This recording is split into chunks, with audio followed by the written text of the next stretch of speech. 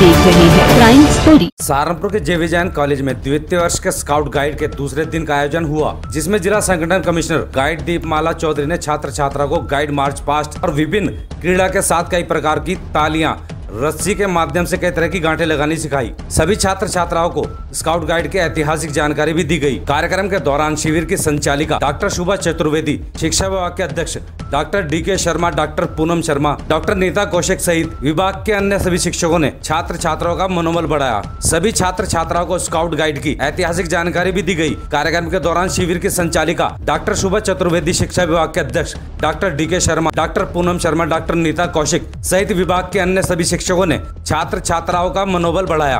और आज हमारा ये बीएड में जे जैन डिग्री कॉलेज में कैंप लगा हुआ है, जो पाँच दिवसीय है। आज इसका दूसरा दिन है।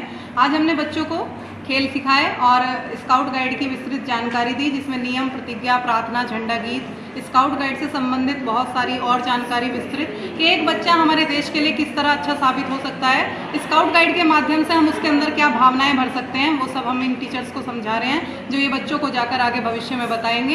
ये हमारे बी एड सेकेंड ईयर के छात्र छात्राओं के लिए ये प्रोग्राम करा जा रहा है। ये इनके करिकुलम की एक कंपलसरी एक्टिविटी है। इनके सेशनल वर्क में ये कैटेगराइज की जाती है। ये कल से शुरू हुआ है। आज इसका दूसरा दिन है।